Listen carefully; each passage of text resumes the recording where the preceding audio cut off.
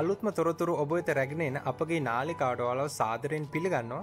ඔයාලා තවමත් අපේ channel එකට අලුත් නම් දැන්වම subscribe කරලා ළඟම තියෙන සීනු ලකුණත් ඔබන්න මේ වගේ වීඩියෝස් ඔයාලට එතකොට දැනගන්න පුළුවන්.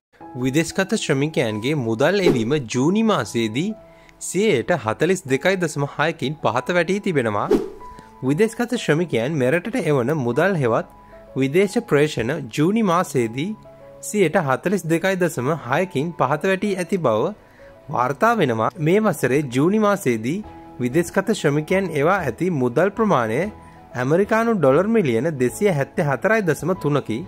පසුගිය වසරේ ජූනි මාසයේදී ඔවුන් ඇමරිකානු ඩොලර් මිලියන හාරසිය හැත්තේ අටයි දසම හතරක් මෙරටට එවා තිබෙනවා.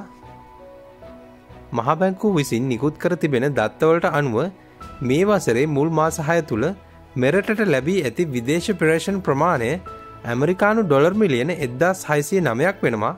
පසුගිය වසරේ මුල් මාස හය තුළ ලැබී ඇති විදේශ ප්‍රේෂණ ප්‍රමාණය ඇමරිකානු ඩොලර් මිලියන තුන්දාස් තුන්සිය විසි හතරයි දසම හතරක් වන අතර පසුගිය වසර හා සාපේක්ෂව මේ වසරේ මුල් මාස හයට අදාළව විදේශ ප්‍රේෂණ ලැබීම සියයට පනස් එකයි දසම හයකින් පහත වැටී ඇති බවයි වැඩිදුට්ටත් ස්වාර්තා වන්නේ.